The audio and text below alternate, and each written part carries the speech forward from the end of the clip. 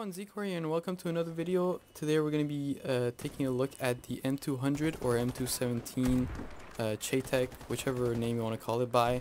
Now this is a very iconic sniper. Um, I believe it's uh, it has a reputation from Modern Warfare 2 I think it is. I haven't personally played that game, that's why I say it. I, I played very little of it when I uh, sometimes went to my friend's house, but I never played on my own. I wasn't much of a gamer, epic gamer back then, if you want to call it that.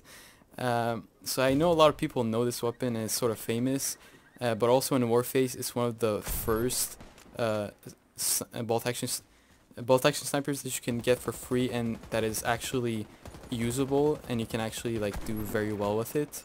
Uh, of course, the Everest is there too, but it's just super slow compared to this, and you can't really compete with uh, better guns using that weapon. But this gun, it's um, as you'll see later in, and while I talk about it, you'll see that this gun is much much better. Uh, it also has a personal history for me because um, my first clan leader used to use this gun as his main weapon. It was his favorite weapon as well, and he's the person who got me into the whole clan aspect of Warface and is probably the reason why I'm still here.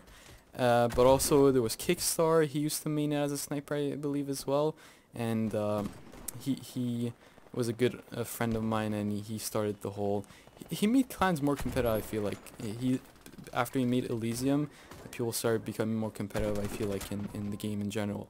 But anyways, um, let's uh, just jump into the review of the gun. This wasn't supposed to be a review, but I guess that's how it's turning out to be. So we're going to start off with the visuals of the gun. Um, I do have the, I believe it's called Black Dragon skin on it right now, but uh, even without this skin, with the default skin, it looks pretty nice, and it looks nice in the kill feed. Uh, the animations are pretty solid as well. and the only thing that might be a bit off, I would say, is the running animation, which for some reason every time there's an update they make like five different changes to the M217 and the one that lasted until today is the running animation one uh, but it's not nothing too weird and you get to well at least I've gotten used to it so um, it's nothing really to complain about. Uh, now as of the gameplay and the stats obviously it's a vendor sniper so you shouldn't be expecting anything too crazy. But surprisingly it does a really really good job. Like if you're good at sniping you have a bit of experience and your aim is on point I don't think you're gonna really struggle against people who are using credit random box weapons.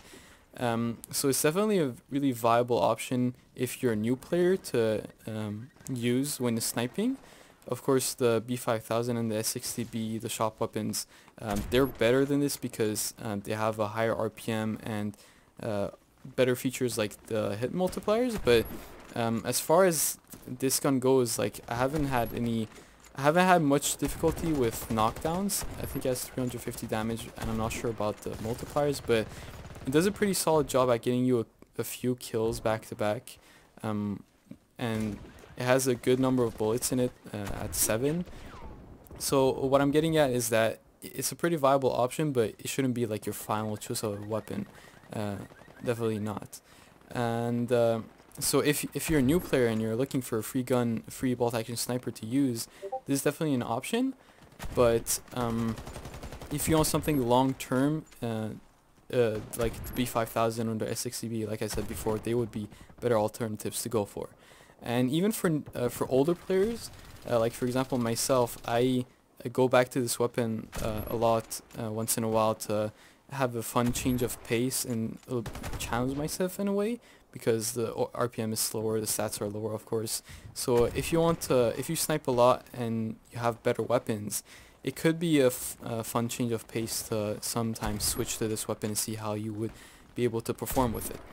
Um, so yeah, that's pretty much it about the weapon. I don't know what else to say.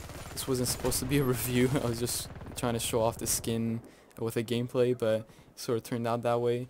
But whatever else you want to see with this weapon, uh, let me know if there's any other type of video you want to see with it.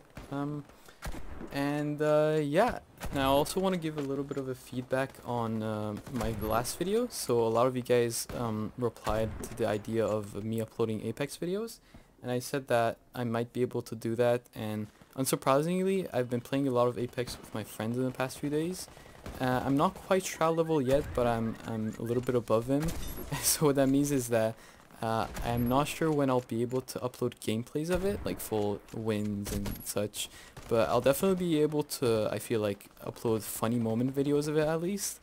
Uh, but I just don't know when I'll have enough clips um, to be able to do that either. But I definitely do feel like the game that I'm most likely uh, gonna upload videos on is Apex. Um, so yeah, that's it. I hope you guys enjoyed. Uh, next video is probably gonna be on a pistol. I'm not sure which one. Uh, and yeah, thank you guys for watching, and I'll see you guys in the next one. Goodbye.